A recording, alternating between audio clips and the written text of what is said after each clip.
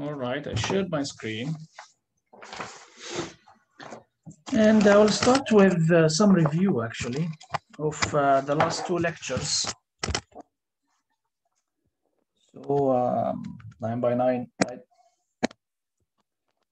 And I don't know how can I stress enough for you guys that if you have any question, whether you have studied or not, you should stop me and ask.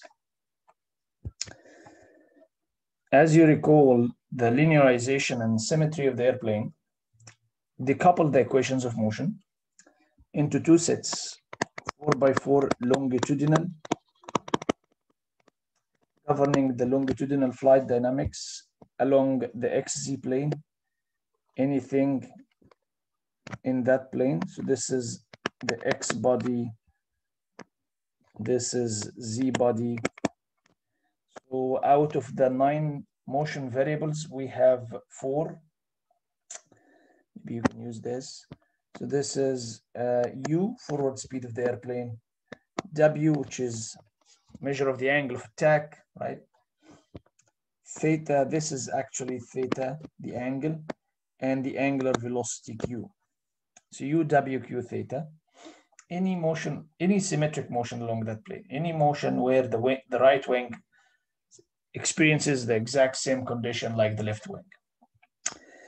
Okay, so we have four state variables, u, w, q, and theta. And uh, via, when we did, so this is after linearization. So we have a linear system with uh, four states, u, w, q, and theta. So this is the S domain, real and imaginary. So we get uh, four eigenvalues right? And this is typical for uh, typical for any airplane.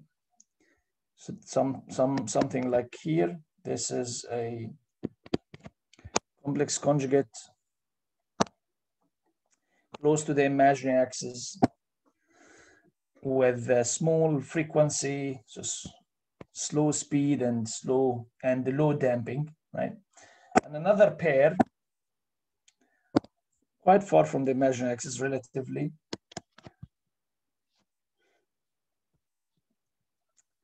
And uh, good damping. So this is what we call what? Anybody remembers what mode is that? The short period. Very good. This is the short period mode. And anybody remembers?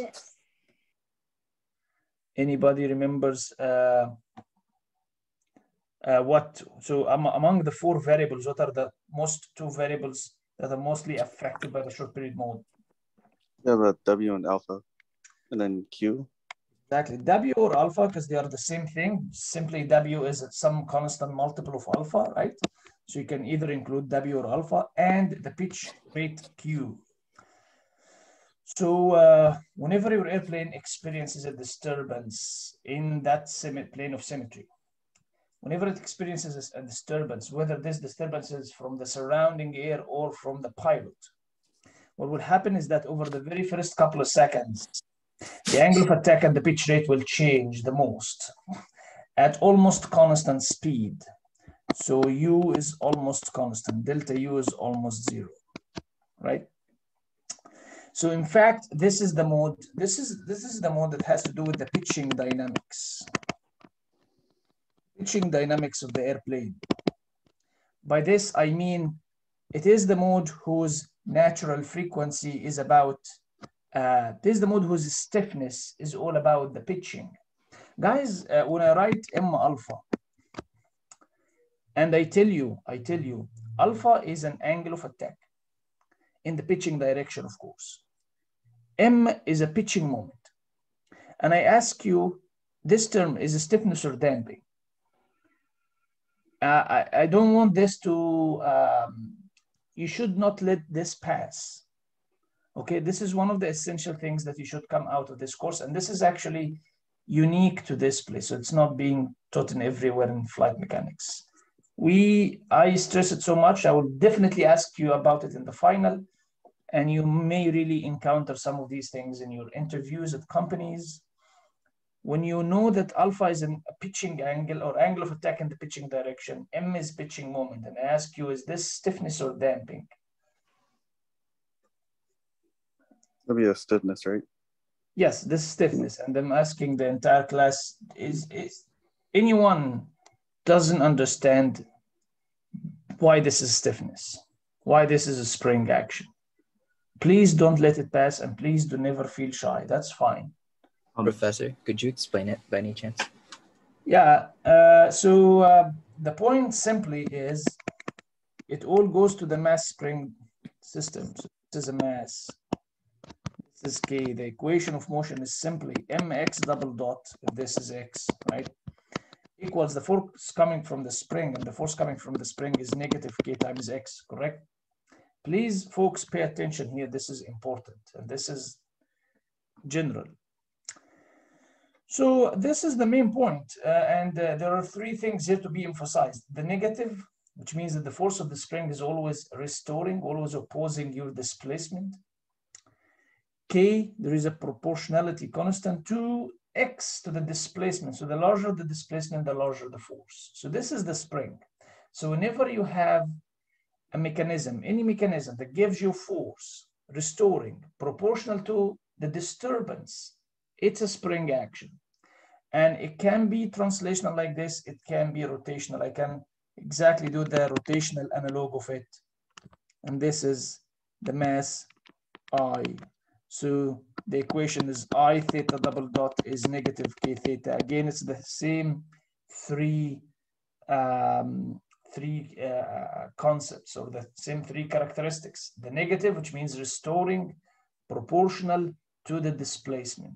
So whenever you see what is what should go in the right hand side here in this equation, this is I theta double dot equals the torque, the moment. So whenever you see a moment that is negative, restoring, opposing to displacement and proportional to the displacement, this is a spring action. So when you look here, M alpha, alpha is a, an angle of attack in the pitching direction. M is the moment due to alpha. And we know that it's opposing because it's negative. M alpha is negative. So immediately I, I, I, I realize that this is a moment due to an angle or a force due to displacement. This is a spring action, okay? So in, in, in other, in, in uh, can you tell me what is, what is the spring for the, um, the other direction about Z, for example? What is the moment about Z? What is its symbol? That's the moment about Z. N beta? Exactly. So this is again a moment due to angle. This is a stiffness in the other direction, right? And L beta is roll stiffness, right? So this is about stiffness and about damping. If we have a damper here, then we have another term, another force, which is negative Cx dot. Again, it's negative. It's it's opposing, restoring force and see there is a proportionality constant proportional to not the displacement but the velocity. So uh, if you have a larger if you move let's say 10 centimeter to the right it doesn't matter. It matters the speed by which you're moving. So the damper opposes the speed okay? It's proportional to the speed. The same here negative c theta dot right? So whenever you have a force an opposing force proportional to velocity, or a moment, a torque, proportional to angular velocity. This is damping, okay? This is very important. There are gonna be several questions in the final with this language. Pitch stiffness, pitch damping, yaw stiffness, yaw damping, roll stiffness, roll damping, and they all come with that table. They all come with that table if you remember we have LMN and the angular velocities are PQR. So simply LP is roll damping. MQ is pitch damping. NR is yaw damping because each one of these is a moment due to angular velocity, right? Like exactly this term. And they are all negative, of course, okay? For the corresponding angles, we know the corresponding angles. Here is alpha and because we're not considering the Euler angles here, we're considering the aerodynamic angles. It's just two angles, alpha and beta. So beta here and beta there. So L beta is roll stiffness, M alpha is pitch stiffness, N beta is yaw stiffness. Is this clear enough? Any question about this? Um, so professor, I remember like um maybe like lecture 10 or something. I, I remember we derived this equation for uh for M alpha. Like we did this we did the differential equation that you've written in the bottom. But if we wanted to do it for um like in the z direction for for yaw, for example, would it be the same exact process? Yeah, yes, but we will not we, we don't need to do it because we already in that lecture, this was, I don't know, lecture maybe, uh, I don't remember which lecture is that, but anyway, we, we after, after that, we derived, we have access for, to the full equations of motion. When we did it for the pitching, we have only one degree of freedom in the wind tunnel. And we derived an equation for this, for the one degree of freedom for the wind tunnel. But now we have these several degrees of freedom. So we have coupled equations of motion they appear in the nine by nine. Okay, so they will not look that simple to identify which stiffness and which is damping, but I can identify them from here, from just the basic definition. Okay. Thank you. So again, for this mode, this is really what the airplane gonna experience over the very first couple of seconds, and it happens at almost constant speed, which means that really in the wind tunnel, if you are in the wind tunnel, this is the mode that you're gonna observe because the wind tunnel, I mean, we have a constant speed, right? So if you have a sensor, uh, put it on your airplane in the wind tunnel, this is the mode that you're gonna observe. This is exactly like uh, problem one in, in, in homework seven, right? We have in the wind tunnel, we did an experiment, we measured the time response of the pitching angle, and we need to identify from the settling time and overshoot, we need to identify the stiffness and damping. What are the stiffness? Well, like I said, this mode is really mainly associated with the pitching dynamics. Your stiffness is the pitching stiffness, M alpha. So really M alpha is the thing that sets your natural frequency. Because remember, the natural frequency is set by your spring, square root K over M, right? And uh, what is your damping here? Can you tell me what is what is what should go here to the damping? Any suggestion? Uh, should be MQ. Yes, exactly. So this is again, we're talking about the pitching dynamics. Here is the pitching dynamics. M alpha is the pitch stiffness, MQ is the pitch damping. So this indeed will go and determine your zeta. And in fact, we derived the expression two lectures ago for omega n of the short period mode in terms of M alpha and for zeta of the short period modes in terms of MQ. Any question about that? Any question about the short period mode? Any question? And indeed, the short period yeah. Professor, just just to clarify on the the plot that's sort of a root locus plot that you've just drawn. Just uh, I'm I'm I'm trying to remember the the distance from the real axis uh, has to do with the the frequency, and the distance from, I guess in this case, the the x is what again? The distance from uh, okay, so there are two. In general, this is what we call omega damped. The imaginary part is what we call the damped frequency. Okay. The the real part is is the reciprocal of the time constant. So uh, this is zeta omega n. This is the real Okay. part. Multiplication of zeta omega n, and uh, four divided by that gives you the settling time. Gotcha. And Okay, uh. Thank you. the, the the the diagonal is the omega n, the natural frequency. Right. So Okay. Usually, usually go with the diagonal and zeta omega n to get both omega n and z. Mhm. All right. The what, what what do you mean here by the pitching dynamics? Again, we discussed this before, but let's discuss it again because we're reviewing what is happening with all these modes.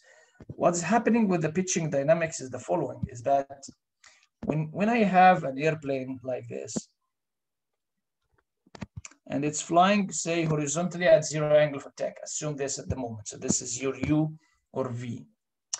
And you apply a pitching moment. You push your elevator. You either take a disturbance or you push, um, uh, you you you pull your your stick towards you. So you pull the airplane. You wanna do a pull up. Okay. What happens Well, you apply the moment on the airplane. The airplane is not a point mass. It's a rigid body. It can rotate.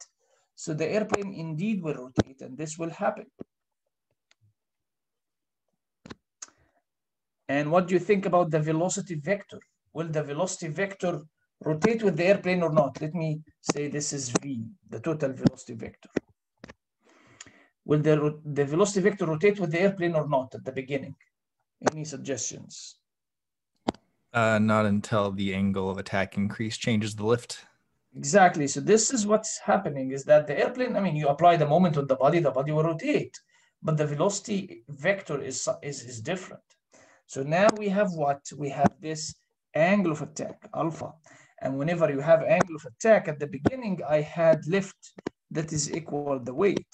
But this increase in the angle of attack will give you delta lift, right? Extra force.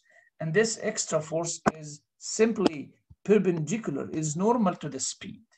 So it will do what? It will make the speed pull up, right? It will deflect, will make you turn, your velocity vector turn, right? So eventually it will be aligned with the airplane uh, and the airplane will go up, that's fine. But these changes in the very first couple of seconds, these oscillations where the airplane rotates, but the velocity vector is not, the angle of attack increases, which increases the lift, and then the velocity vector rotates. And during this excursion, this is not the only story. There is another part of the story because whenever you have an increase in the angle of attack, the horizontal tail responds back by a restoring moment, right?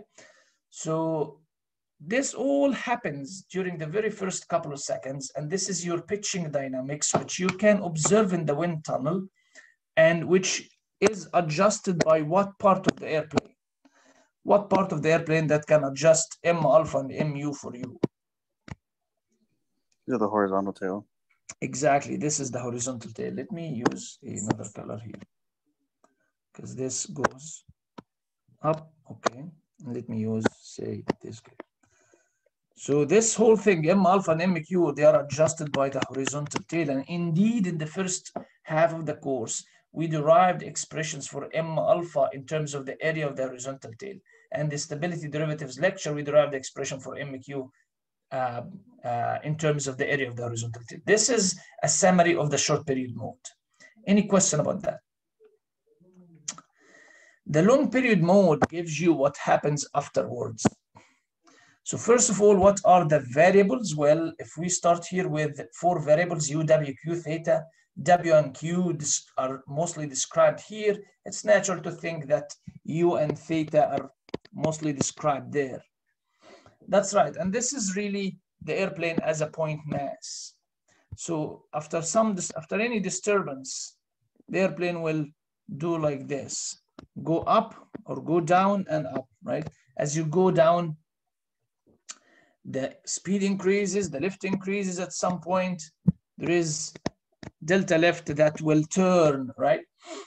That will turn your velocity vector and you go up all the way, go up. So you're, you're, you're now uh, against going up the hill against your weight. So speed decreases until you have delta lift here pulling you down again.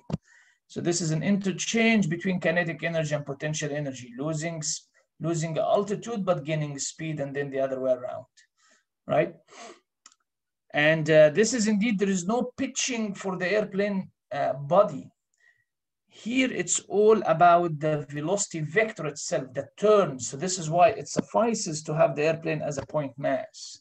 Actually, this mode happens at almost zero changes in the angle of attack, right? So there is no pitching dynamics for the body. So the very first couple of seconds, they're gonna be all the pitching dynamics happening uh, or adjusted by the horizontal tail and then followed by a long, long time scale. And you can expect that this really happens over a long time scale. The whole airplane goes down and then goes up, goes down and goes up.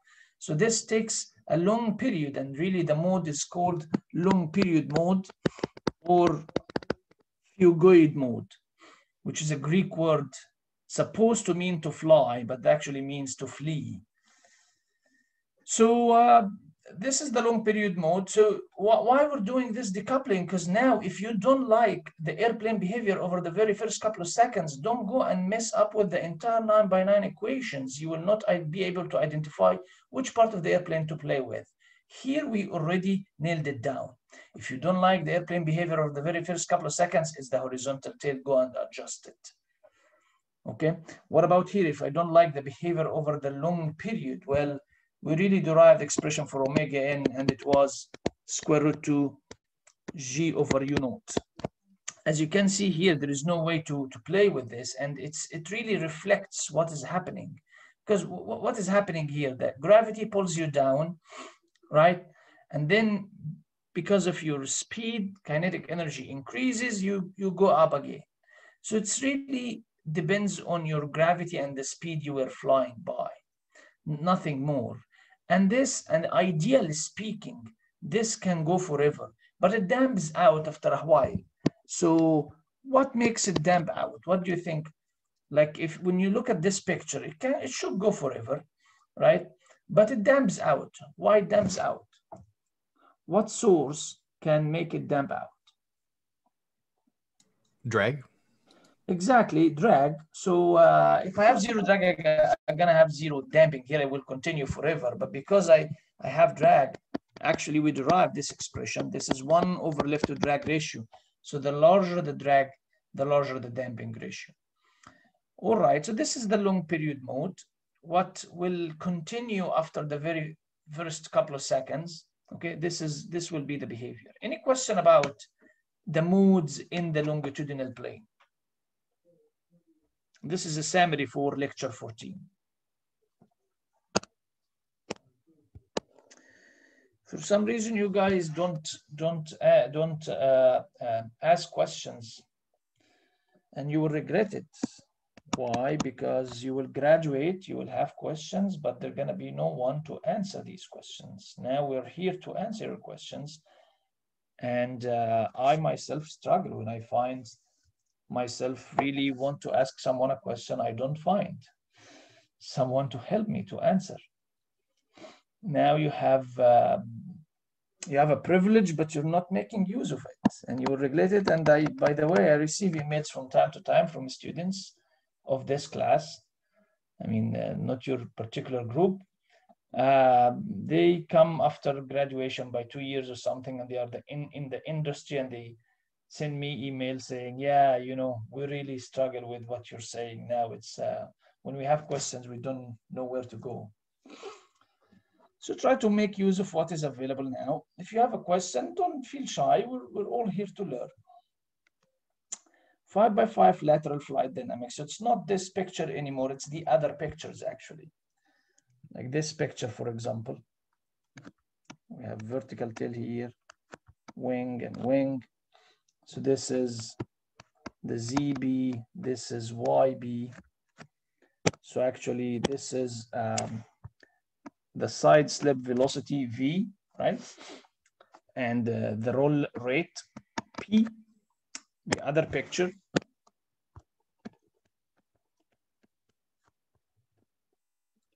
This is X. And this is the velocity vector large V which means this is the little v component along the y-axis. This is the y-axis. And in addition, in this picture, we have the yaw rate R. So uh, these are the pictures we see in the lateral. Either we're doing yawing, yaw, R rate, roll, P rate, or side slip, little v, and you know it's, it's either v or beta the same relation exactly between W and alpha, we have it between V and beta. So uh, this is five by five. Uh, we have five modes. I'm sorry, we have five poles, eigenvalues. So let's see what, what were these.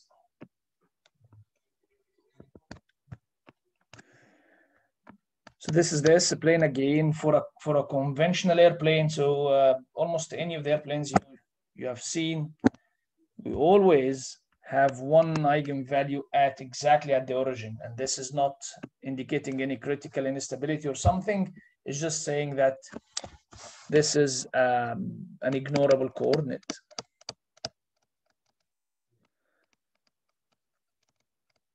This was associated with psi, the heading of the airplane. Of course, the heading of the airplane, there is no mechanism to correct the heading if it's disturbed.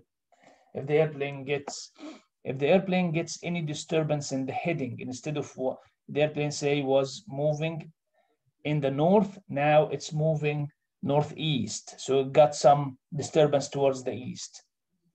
The airplane will not feel anything, right? Because it's the exact same forces, exact same lift, drag, pitching moment, yawing moment, rolling moment. Every, all the forces and moments will not feel any change due to this change of the heading, right?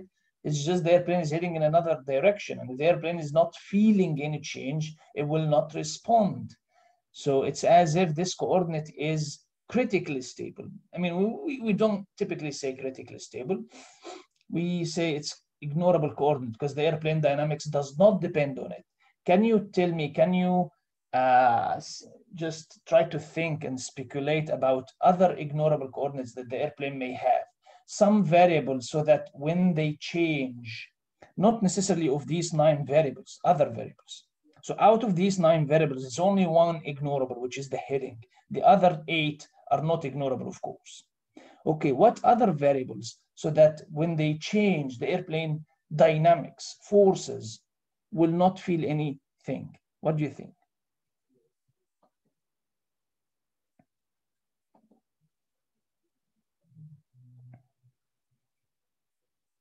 Any suggestion? And obviously I'm asking about variables that are not here. It's not speeds, UVW. It's not angular speeds, PQR. It's not Euler angles, phi theta psi. So other than these, what variables so that when they change, the airplane forces will not change? Obviously location, XYZ. So if I included actually XYZ, some flight, I mean, many flight simulators, I mean, actually almost all flight simulators, they include in the, in the, in the flight dynamics, not nine by nine, they include 12 by 12. They include the three positions so that when we solve the, when we simulate, we don't only get UVW, PQR, and phi theta psi, we also get XYZ, the airplane location, how it changes uh, with time, right? Which is uh, quite a legitimate request but these these position coordinates they are really ignorable right? The coordinates in the sense that uh, i mean if the airplane is here it has the exact same dynamics as if uh, it's there another, at another location right? The, the location itself does not affect the dynamics at all does not change the forces at all right? If the airplane is flying over california it will experience the exact same forces in the same conditions if it's flying over Virginia, right? If it's the same condition. So the location itself does not change anything. So if I started with a 12 by 12, I would have actually gotten here four, four poles at the origin, okay? Questions about that? Professor, I have a question in regards to that. So would it also not vary with change in the altitude? Because I would expect since the pressure would change depending on where you are in the altitude that it would affect the forces on the airplane. But why does it not in the XYZ case? If you if you account for the uh, the uh, the atmospheric changes with the altitude, they're gonna be they're gonna be change, right? So if you in your equations of motion in your model if you account for this, right? So the, we, in the forces, we have one half rho v squared, right? So rho is floating everywhere.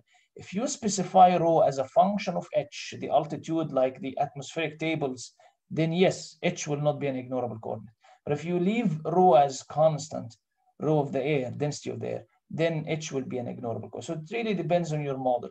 And for a, for a, for an x, for an uh, comprehensive model, so for an actual flight simulator, yes, of course, they, they include this dependence. It's a very good question. See, thank you, Professor. Mm -hmm. You're welcome. All right, so we spent quite a bit of time with this. It doesn't deserve, it's an ignorable. We should have ignored it. Okay, what are the rest four? So we started with five lateral variables. Psi is one of them and it's ignorable. It, it, it's associated with one eigenvalue at the origin. Fine. Where are the other four? How many Professor? modes? Yes. One more thing on that. Uh, you say we say that heading is ignorable uh, psi there, but what about changes in psi? That's that's a different story, correct? Delta delta psi that does have an effect on dynamics, Mm, right? No, actually here, uh, psi and, and its delta, they, they don't have any effects. So um, psi is not the side slip angle, right? Psi is just the angle between, so side slip angle is here, between V and, and the X of the body.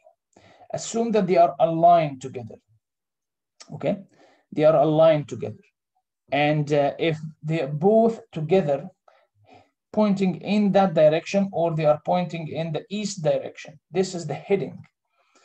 Okay. So uh, this heading does not affect anything. Okay, okay. So uh, because it's it's simply saying it's simply saying the airplane. So the heading is one of the things that that that can be explained with a point mass. It simply says that if the airplane is moving in that direction, or that direction, or that direction in the horizontal plane. So, uh, and this is all V aligned with the axis, it doesn't matter. So the airplane as a point mass is going in what direction? If you change this direction, what, what, what does change? Like what forces do you get? in the body frame. There is actually nothing, no, no change at all, because you, you're flying at the same speed, same angle of attack, same side slip angle. These are the aerodynamic angles, right? Because you, what are your forces? Well, my forces are aerodynamic. So psi is not aerodynamic. So any change in psi will not lead to any change in uh, in aerodynamic forces. Okay, what about gravity? Well, uh, gravity is pointing straight downward. So any change in the horizontal will not get you any change in the in the gravity force, right? Along the but the body axis. So this is why psi is really ignorable. It doesn't affect your dynamics at all. So uh, what about the other four? Four eigenvalues. Anybody remembers how many modes did we have in the lateral? There was three modes. Exactly. There was three modes. So one of them was very close to the imaginary axis. Sometimes for some airplanes, it actually crosses the imaginary axis and becomes unstable. But in either case, it's too slow, meaning that if it's unstable, it's fine. This is what we call the spiral mode. In this mode, if it's unstable, the airplane will go into spiral, spiral divergence. So we'll keep uh, turning in a steeper and steeper circle and of course going down as it as it uh, as it turns so it goes into a spiral down something close to spin uh, and the, the the best approximation that approximates this mode this is one eigenvalue so i need just one equation to approximate it it's it's just r dot was something times r right this was the equation and what we have here it was uh, if I remember correctly, NR L beta minus the other way around, N beta LR over L beta. This is your eigenvalue. All right, what's the other mode? The other mode was quite important for airplane flight mechanics. It's actually, it was um, here, right? Relatively fast. And uh, its damping is questionable. Sometimes it's well damped. Sometimes we need more damping for it. This mode is the Dutch roll mode where the airplane is really behaving like it's as if the airplane is skating. The airplane is behaving as a tree leaf. It's mainly side slip oscillations. It's an oscillatory mode, right? It's a complex conjugate. So mainly side slip oscillations. So it's beta, and like we know, it's V or beta, right? And on the top of that, there is yaw oscillations as well. And indeed, there is roll oscillations, but we had to neglect it in the approximation because at the end of the day, there are two eigenvalues. I'm going to decide uh, for two variables. So these are the two mostly affected variables, side slip and yaw. And we know on the top of that, there is roll oscillations as well. It, this mode really resembles the the short period mode in, in, in many in many sense. So for example, um, here this mode was really representing the pitching dynamics. Over there, this mode really representing the yaw dynamics. Sometimes we call it directional dynamics. Uh, if this mode is adjusted by the horizontal tail, this mode is adjusted by the vertical tail.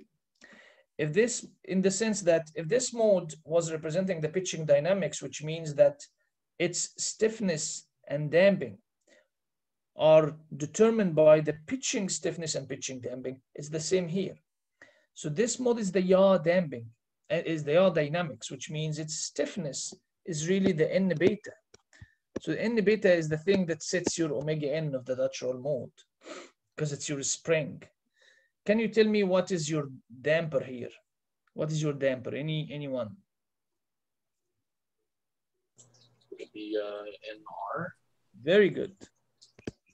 So this is the thing that really sets your zeta of the Dutch roll mode. And indeed, last lecture, we derived an expression for omega n Dutch roll in terms of n beta and for uh, zeta Dutch roll in terms of NR.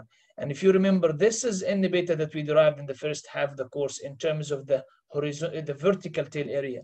So indeed, this mode is the mode that is set by the vertical tail. So fly, if you're flying an airplane and the airplane keeps oscillating in yaw and side, side slip in an annoying manner, please don't go and mess up with the entire nine by nine equations of motion. It will be quite misleading. You need to focus here and it's really adjusted by the vertical tail. Okay, so this is the good thing about scrutinizing the airplane flight mechanics in this way. Uh, and this is an interesting point. Uh, It's it's it's it's quite similar to to the. Uh, what I'm trying to say is that if you put an airplane here in the wind tunnel and allow it to yaw freely, similar to this. When you put an airplane in the wind tunnel allow it to pitch freely. This is the dynamics you're gonna observe. Here, if you put an airplane in the wind tunnel, allow it to yaw freely. So you put it on a shaft, vertical shaft, for example, okay? And allow the airplane to yaw freely. This is the dynamics that you're gonna observe in the wind tunnel, okay? Uh, let me tell you the following. We already, we just discussed this, that when you apply a pitching moment, the airplane will pitch up, but the velocity vector will not creating an angle between the two. And by definition, this angle is really the angle of attack, which will create a force, L, right? The lift force. This force will deflect the velocity vector, and eventually you will get what you wanted as a pilot or autopilot. What about here? So I have my airplane.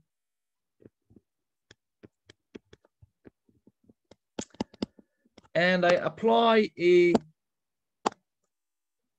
I apply a yaw moment, N. So this is, okay.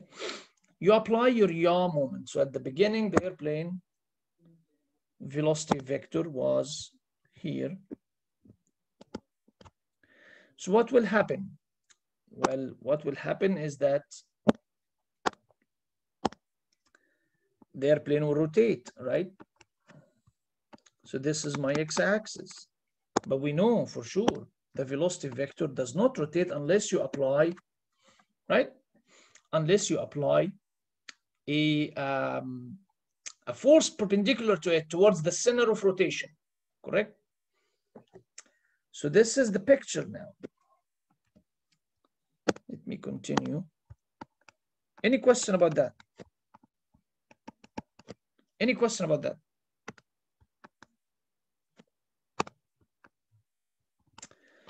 All right, so this is the case, what does this angle, what is this angle? What do we call it?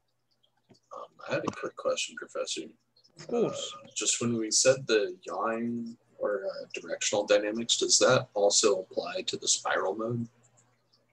Or No, is it that, that, separate? that, well, they are they are related, but this is a very good question in the sense that this is a very good question. Thank you. So we, we really think spiral, it has to do, look at this. This is r dot equal something times r. It's at least the approximation that we, we wrote seems to be pure yaw.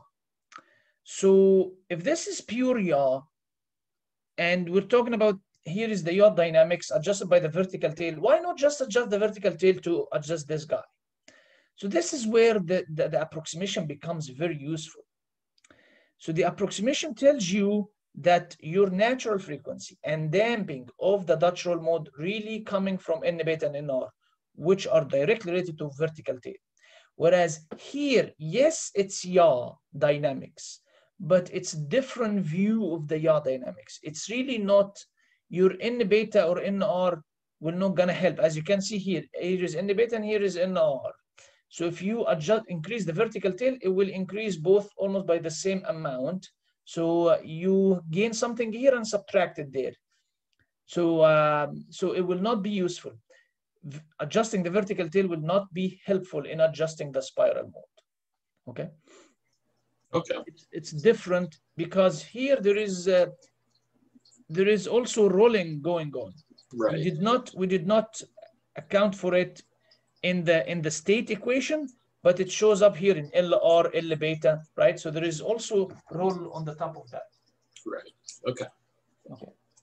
So let's go back here to our story. I have my airplane flying fine, and I apply the pure yaw moment. So I I just hold my airplane and rotate it. Fine. The airplane will follow you, but the velocity vector will not, right? And now this angle is what? Beta. Very good, beta.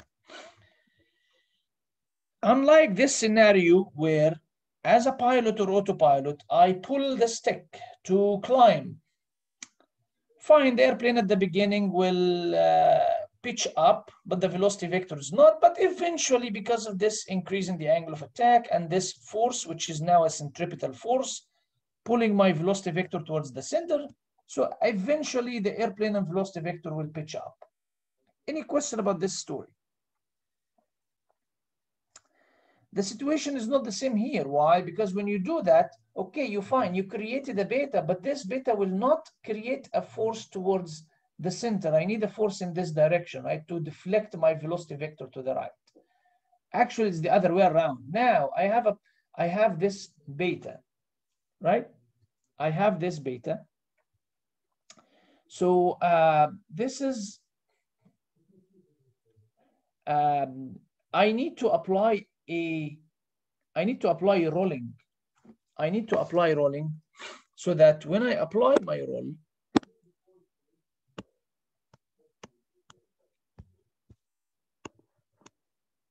I'm exaggerating, of course. So this is the forces from the wing, the lift force. Now the lift force from the wing, they have a horizontal component.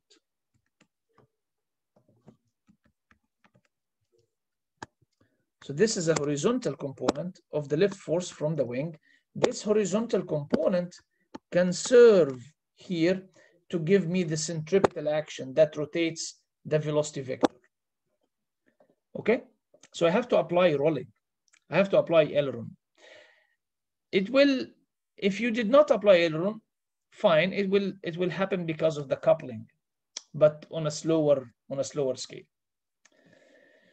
So uh, I just uh, mentioned rolling because the actually the last mode here has to do with rolling. This is the fastest mode of the airplane and it's pure roll. It's just LP times P plus L aileron times aileron. And again, if you don't like the roll behavior of the airplane, don't go and mess up here or mess up there. Don't go and play with the vertical tail or something. It's it's it's really in LP. Okay. So uh, this distillation, this dissection of the airplane flight mechanics into these modes help us understand, better understand flight physics. So when you have this picture zoom out like this, you, you have almost everything. Any question about that?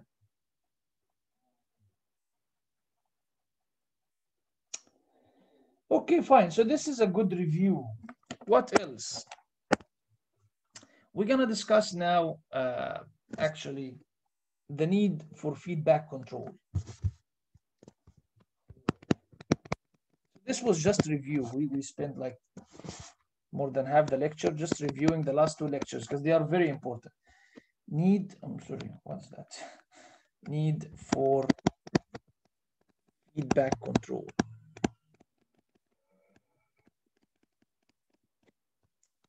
What are the reasons? Actually, there is a, a common and very famous behavior. It's trade-off between performance, a good airplane, an efficient and economic airplane, and stability and control. How is that? So let me ask you, let, let us take some examples. Let me ask you, I want to enhance my pitching dynamics, CM alpha and CMQ. I want to increase them. How can I do that? By the airplane geometry? How can I increase this?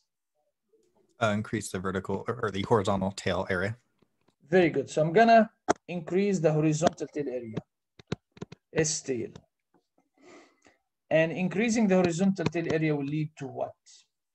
Well, actually the airplane weight will increase. So this is a bad thing. Drag will increase, right? Because it's more area. And if the drag increase, the fuel consumption, M dot fuel of the airplane will increase. Perhaps you need now a bigger engine. You're losing on almost every single aspect. And I mean, things trickle down for airplanes. So this is why we're always obsessed with weight because there is something called growth factor in the sense that if you added one kilogram weight to the airplane, so you need more wing area to support this one kilogram, which means you need now you added extra drag because the lift doesn't come for free, comes with a side effect of drag. And if you add drag, you need bigger engine. You know, it trickles down. So when you add one kilogram, it trickles down to the end to uh, something like seven kilograms. This is the growth factor. And it goes both ways. If you save one kilogram of the weight of the airplane, it trickles down to about seven kilograms saving in the entire weight. Okay. It's something called growth factor for any airplane. It's around six or seven. All right. So we never want to, to add any more weight. So this is not a good solution. If I want to adjust my pitch stiffness and pitch damping, my pitching dynamics, yes, of course, I can always do it by adding more tail, but this is like the naive solution. Uh, not naive, let's me, let's say, it's the straightforward solution. It's not a smart, it's not clever solution, okay? It's just straightforward. Okay, so uh, what else? Remember, uh, I told you this before, uh, that um, when, when you have, this is your airplane, and this is, this these axes are, this is where your CG located, and uh, this is the drag trim. And this is the neutral point, the airplane. The variation of the trim drag is something like this it attains a minimum here. I mean, of course, you like to minimize drag, but now uh, it attains a minimum at a value for XCG. This is the variation of trim drag versus CG. It attains a minimum at XCG behind the neutral point. So the airplane is unstable. So now this is again uh, trade-off. Should, should I have a stable airplane? So I have my CG here, but high drag, or should I have a minimum drag but unstable airplane or some somewhere in between? So this is again trade-off between performance and stability. Another clear point, we, we really saw it last uh, two lectures ago about the zeta of the long period mode. It was one over square root, one over lift to drag ratio, clear contradiction between performance metric. This is the ultimate performance metric for airplanes, lift to drag ratio. Airplane aerodynamicists always want to maximize and we always want to increase the damping ratio. Here is the clear contradiction. Okay. And many other examples say, I mean, last time we really mentioned this for the spiral mode, uh, although the spiral mode itself is not that important, but it has interesting flight mechanics. And uh, if you remember, uh, we, for stability, CNR, CL beta should should be greater than the other way around, Cn beta CLR. This is um, for this numerator to be positive, so the eigenvalue be negative, so we are like this in the left half plane, stable. So how can we achieve this via geometry? Well, indeed, CLR is we have no control over because it's simply CL over 6, 1 plus 3 lambda over 1 plus lambda. So it's it depends on CL, the operating condition of the airplane. I have no control over. CN beta and CNR both goes with the vertical tail. So this is why if you multiply, you know, the vertical tail increasing by 50%, you'll multiply here by 1.5 and here by 1.5. They will cancel each, that, each, with each other. I'm trying to make to satisfy this inequality.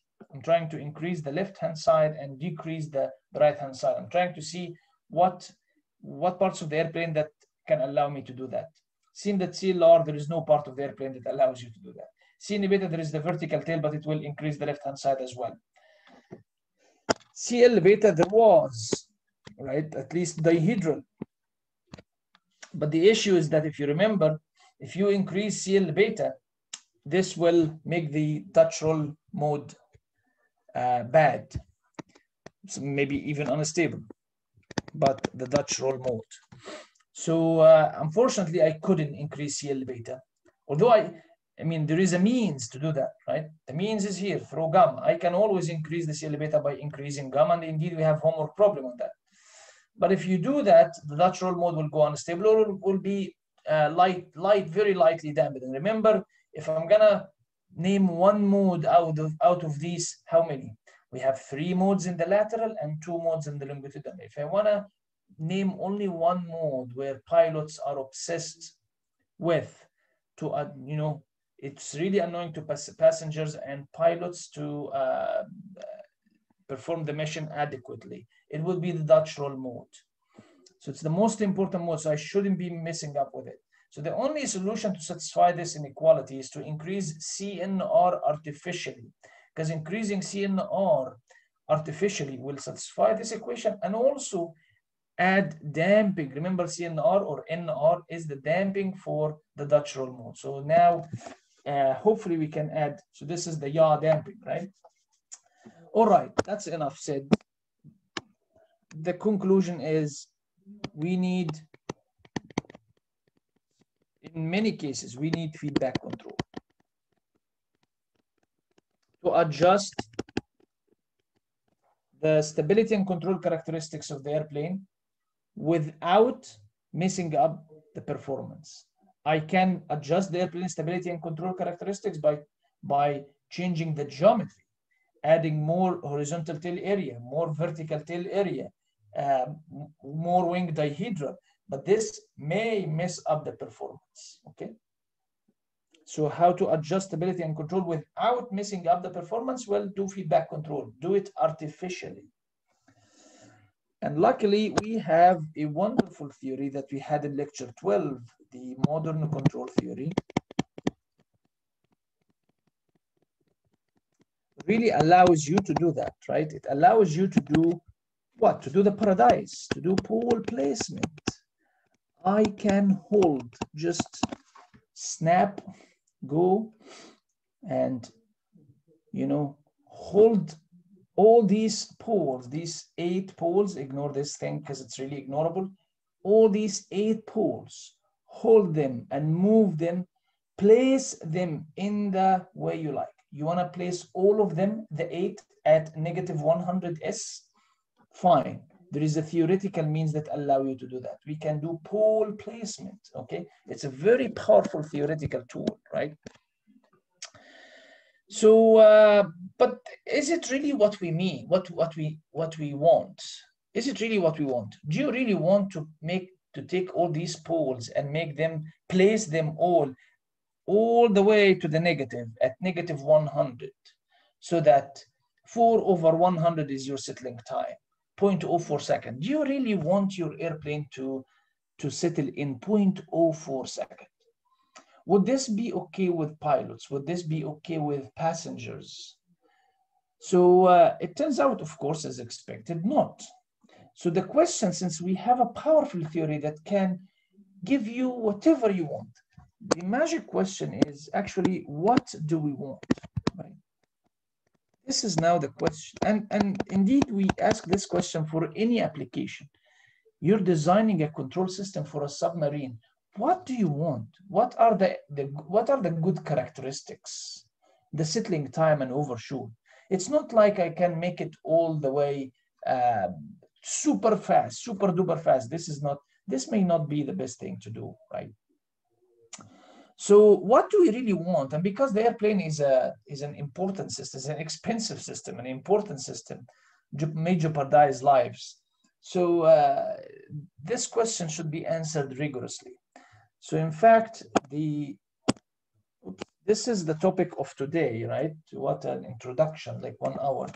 So this is the topic of today. This is actually, what do we want? It turns out to be a long, a, a whole research by itself. It's called flying qualities. This is the topic of flying qualities. An airplane, sometimes it's called handling qualities. So, uh, like I said, because it's super important in the 60s, the Department of Defense and the Federal Aviation Authority, the FAA, they both together, they flew hundreds of missions. They asked pilots to fly hundreds of missions, change the airplane characteristics each mission, and ask the pilot to give a grade so that these grades will help us to know the effectiveness of, of this airplane. Uh, so that I take this into account when I design my flight control system. Because now we, we know what we want. What we want is actually what the pilot wants. And for a commercial airplane is what the passenger wants. The comfort, the passenger's comfort, when we when we say flying qualities or handling qualities, it's really the ride quality of the of the airplane. Or for a fighter airplane, it's the effectiveness of the airplane as a weapon delivery system. Okay, so uh, how this how do you like this airplane when you fly it, whether as a passenger or as a pilot? Fine, so this is good, but uh, to me as a as a flight control designer, as a geek who don't want to get out of my comfort zone. For you, for, for us as control designers, what do you really need to know without bothering with too much detail? Like what, what if, if, if, if the, um, what if I give you in a homework problem, you will take and uh, go and design your controller? What do you need to know? Any, any suggestion? Uh, omega n and zeta. Exactly, zeta and omega n, or the pole's location, right? So actually, this is what they did. It was, I still, uh, every time I say this, and I still admire the DoD and the FAA to do that. Well, you control designers, you guys are geeks, and uh, you may not understand the, you know, the instinct of the pilot or anything about the mission. We will give you your comfort zone. We will give you the required poles locations for each of these modes, really. So this is the flying qualities and handling qualities of the airplane. It's just five tables for each of these modes. Each table give you what is satisfactory as poles location or zeta and omega n for each mode.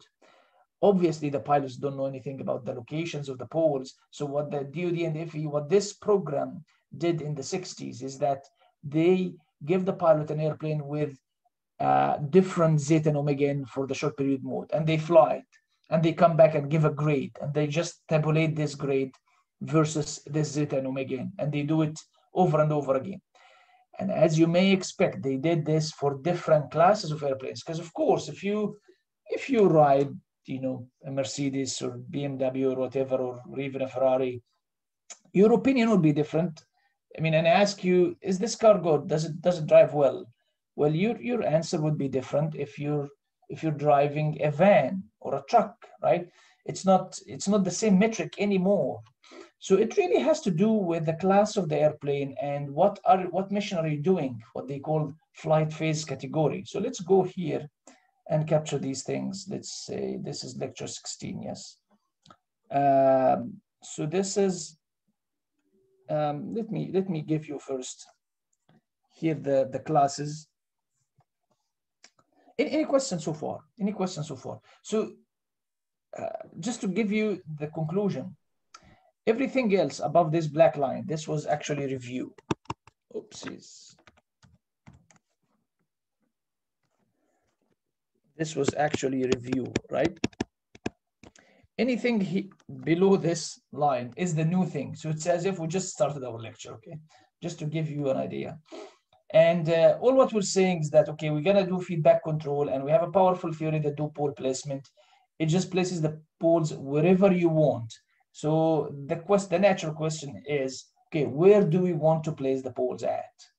That's simple. And it seems that there is a huge research has been done for airplanes to give you uh, the good locations for the poles. That's it, okay? So let's see, uh, but like I said, this happened for every class. So we have classes for airplane, actually uh, class one. So we have, uh, we have four classes. Class one is a small airplane, uh, light. So it's like a trainer airplane. Uh, what else? There is class two.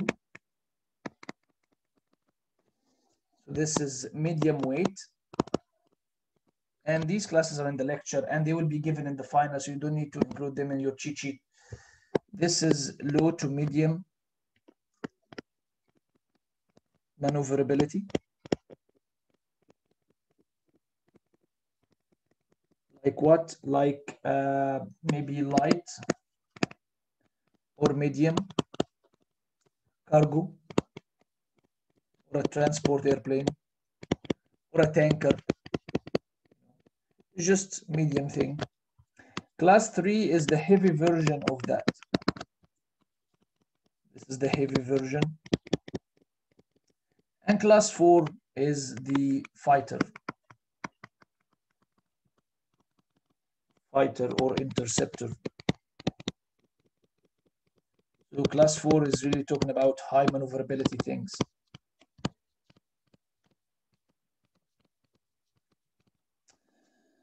All right, uh, so this, these this is the classes and there is also the flight phase categories. We have three categories. We have uh, CAT A.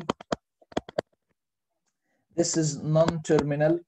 So by non-terminal, we mean we're not, we're not doing takeoff and landing. So it's away from the terminal non-terminal and military. So this is, uh, if we're doing military, non-terminal and um, military, this is like what? This is like air-to-air -air combat.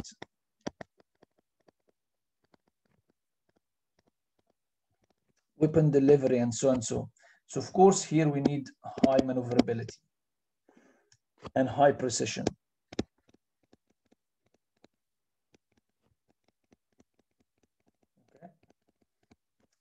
Cat B is again non-terminal, so we're not doing takeoff and landing, but it's civil now. So any civil, uh, any civil flight phase like cruise, climb, descend, you know. And uh, obviously here, we don't need high maneuverability, it's gradual maneuverability.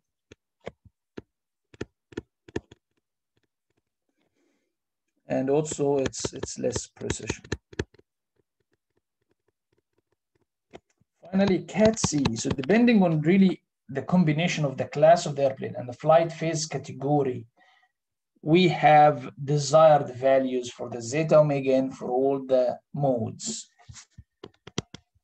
So CAT C, eh, this is terminal now. So this is, we're doing just takeoff and landing kind of thing. So in takeoff and landing, there is no much maneuverability. It's a gradual maneuverability, but we need high precision. Remember uh, landing, there is the glide slope, which is negative three. So this is the flight path angle. Must be uh, quite accurate, quite precise during landing at, at negative three degrees. All right. Professor, I have a question about this sort of thing. I'm curious. Obviously, we're able to use feedback control, and I'm guessing that's where we're going now to correct things and, and put stuff where we want it. But are there requirements for, you know, the airplane has to be able to do certain things without feedback? Or, like, I guess, are there requirements for inherent stability without a controller? Very good question. Yes, in the in the to for for certification purposes, Yeah. yes, uh, the airplane has to meet some static margin. I mean, also depends on the airplane. Um, it depends on the airplane type. But if it's a civilian transport airplane, it, it has to meet certain uh, inherent stability requirements. Yes. Okay, so you can't just say we're going to make it work by using control systems that wouldn't work without power. It has to be Yeah, uh, if it's a conventional airplane, but if it's a, if it's a fighter airplane, you, ha- you have complete freedom. And indeed, most of them they are unstable, and you, you just come back and and, and adjust by feedback control. Very interesting. Okay. So, okay, for any combination of this, here are the grades that the pilot give. It's the levels of flying qualities. We have three levels. Level one, this is the, the best. So uh, when they give level one, this is the best. This is the, the, the airplane is clearly adequate to perform the mission with reasonable uh, pilot workload. So this is the best, okay? Level two is, uh, it's adequate to perform the mission, but with increased pilot workload.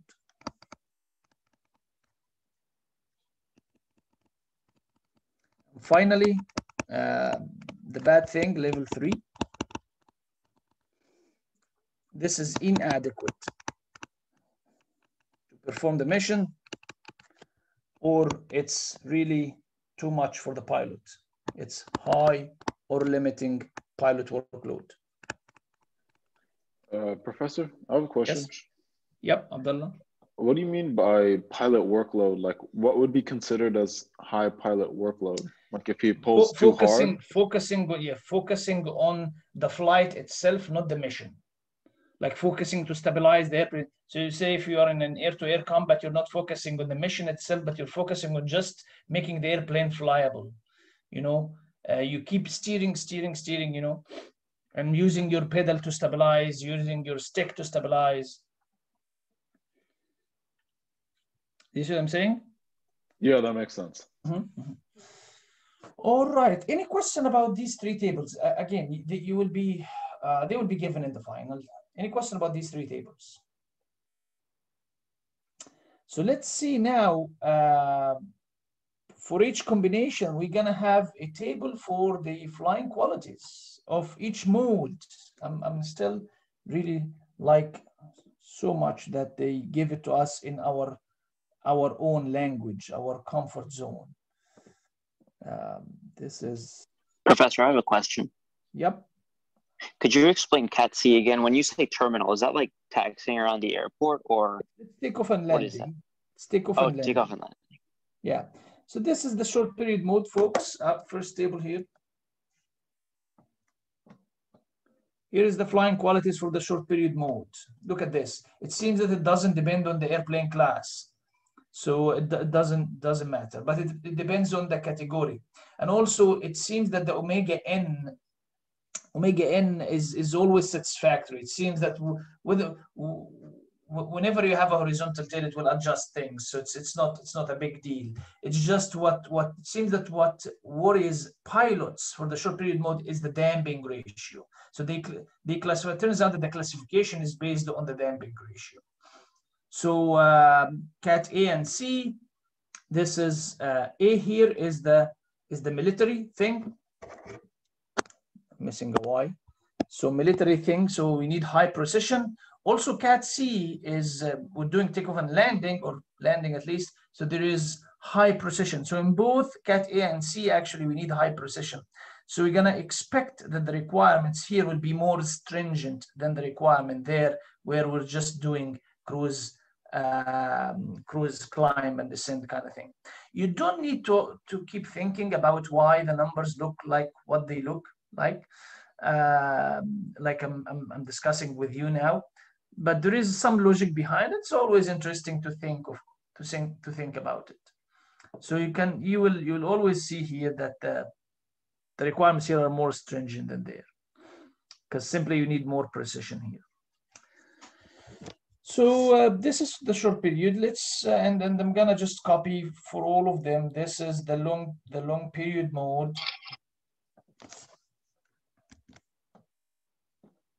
So these are the two modes of um, the um, the longitudinal flight dynamics. And let me get the where is the the spiral? Here is the spiral.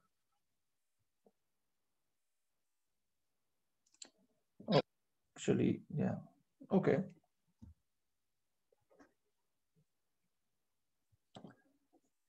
This is the spiral mode, and, and this is interesting. I need to um, so this is a spiral mode. And what is given in this table is something called T2.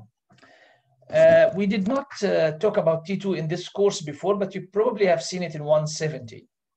So what is T2? How do you characterize the, the time scale? If you have a mode and this mode is stable, have you characterized the, how, you, how, you, how, how can you describe, say, this is a fast or slow thing and it's stable? Well, uh, one thing is to uh, say, uh, if I have, here is the pole, maybe I get the real part, right? So uh, this is the pole location, right? So tau, the time constant, is actually 1 over the pole location, correct? Um, and, and as you guys know, settling time is simply 4 times tau, or 4 divided by the pole location, 4 divided by the real part. Any question about that? So uh, when it's unstable, if the pole is here, there is nothing called settling time. It's still actually still still the the the tau, the time constant is the same definition. So it's one over real part. But there is nothing called settling time because simply the system doesn't settle anymore, right? So there's no meaning for the settling time. It's an unstable. But there's something called time to double. Time to double. I don't know if you have heard of it in your 170 class or not. Probably yes. This is we denoted by T2 and it's simply 0.7 times tau, okay? So uh, it's an unstable system. So if it's disturbed, say, say it's an unstable system in the angle of attack, for example.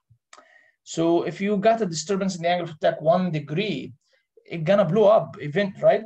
So uh, this one degree, after a while, it will double. It will become two degrees and so and so.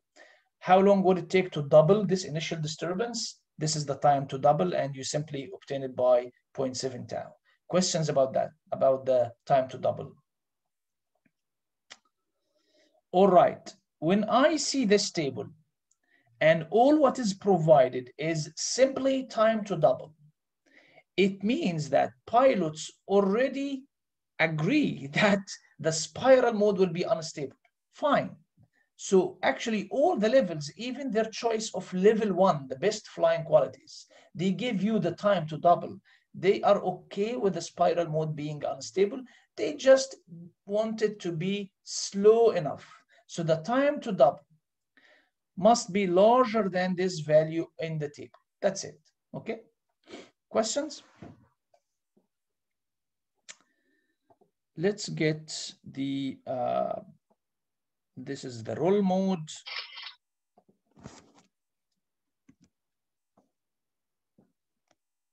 So this is the rolling mode. It's the fastest mode, and uh, they give you the time constant, the tau, which is the one over the pole location, right? So you can see it's, it's quite fast, you know, one second, 1.4 second. So quite fast, the fastest mode. This is the rolling mode. And look at the short period, the, um, sorry, the Dutch roll mode.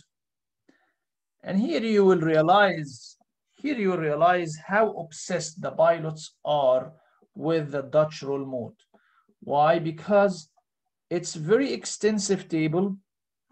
It's of course for different classes. It's different for different classes, for different flight categories.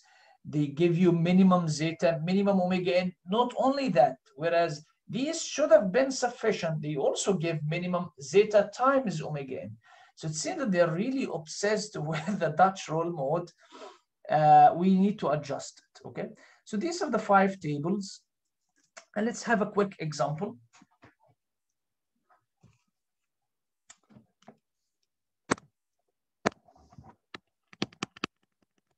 So this is a fighter airplane. Now we, we used to just ignore this, uh, the, story behind the problem. Now we cannot anymore because this means, means something for us. Fighter airplane for us means that it's class four. So it will help me when I go to the table, okay? So fighter airplane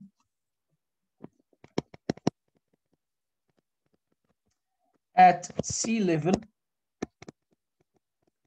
probably is doing something uh, related to takeoff and landing, terminal phase. So this now means something, fighter. This now means something. It should have been more clear than just sea level. It has the following characteristics. So uh, U naught, I guess it's 200 feet per second, and it gives you some other characteristics. Let me let me copy the characteristics characteristics here. Uh, yes, it gives you um, Z alpha negative 90.52.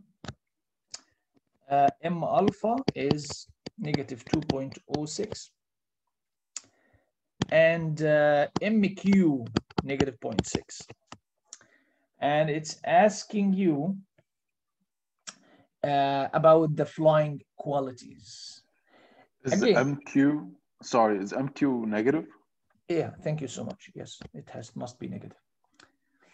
So um, what I'm trying to say, okay, it asks you about the flying qualities. Determine the flying qualities. What is the flying qualities? Let's do it together, please, because they're gonna be in. It is in homework eight. Probably you have seen it, and it's gonna be in the final for sure. A question about the flying qualities. Okay, so let's determine the level of flying qualities for this airplane. Uh, we have five tables. What do you think? What mode they are talking about? They, they should, in the final, I would be clear with you. I would tell you, determine the flying qualities of the following mode, of mode X. What mode they are talking about? What do you think when they give you M alpha and MQ? Did uh, I think a short period. Short period, very good. So let's get the short period. That, that's easy. This problem is really easy. How? Because simply, it's one of two ways. Either construct the A matrix of the short period. Remember the A matrix of the short period, you, you should have it in your cheat sheet. So this was ZW, U naught, MW, MQ. That's it. Go and do lambda I minus A. This will be something like lambda square plus something times lambda plus something. And we always know that the free term is simply omega n squared. And this term is 2 zeta omega n. Get zeta and omega n and go to the table. Or simply we have expressions for omega n short period and zeta short period. Also, I encourage you to include them in your cheat sheet. That's it. So this was, I guess, negative m alpha plus, I guess, ZWMQ. And uh, here was negative ZW and MQ divided by 2 omega n short period. So let's get, let's just substitute. What do we have? Well, I have M alpha, it's, it's here, right? I have MQ, it's here. And uh, I don't have ZW, I just have Z alpha. Again, I'm reminding you guys that W is really U naught times alpha. So anything divided by W, like ZW, is the same thing divided by alpha divided by U naught. Okay, so uh, from here, from Z alpha, I can divide by U naught, which is 200 feet per second, and substitute it here. Okay, so this way. Oopsies. Um, Professor, so we knew to look at the short period mode more or less based off of the variable we were given, right? Yes. But like I said, in the final, I if I give a problem, it would be clear. This one is from the book. But I mean, it's easy to tell, right? M alpha and MQ, of course. this is the short period mode.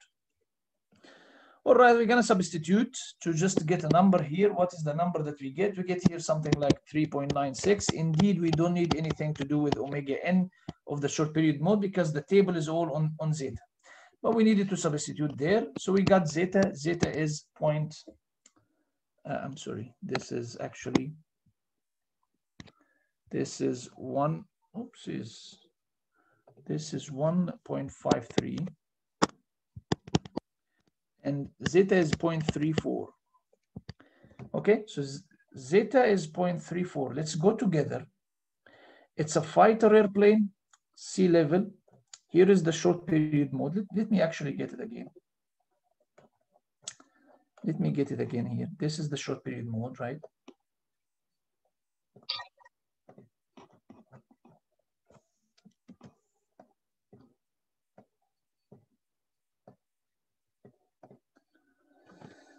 Okay, let's see. This is a fighter airplane, so it's a class four, but actually the short period mode doesn't care with classes. Very good. Sea level, we assume that it's terminal flight phase. Terminal flight phase, so takeoff and landing, it's CAT C. So CAT C, we are here in this column. In this column, I have my zeta is 0.34. So it belongs to what range in this column? What do you think? The level two. Level two. Anybody doesn't see this?